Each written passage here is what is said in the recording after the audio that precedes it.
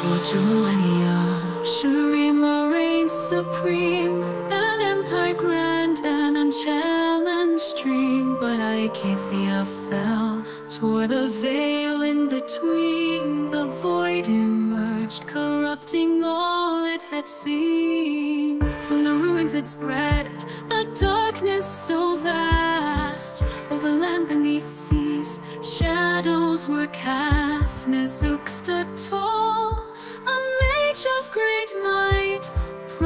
just a weapon to end the void's plight.